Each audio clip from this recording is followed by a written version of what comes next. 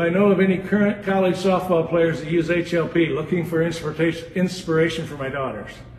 Off the top of my head, uh, that LSU softball girl is loading. She has what's called the hover.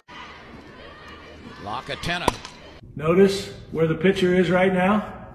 Notice where the hitter is. She's basically doing the one-legged drill in the game. And as the pitcher starts her move, she starts to give her get her load going. And I believe this is a home run, and if I'm not mistaken, this was last March. There's no substitute for being ready at release.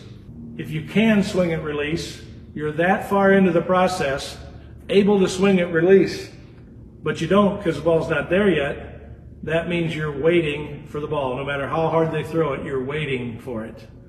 Okay?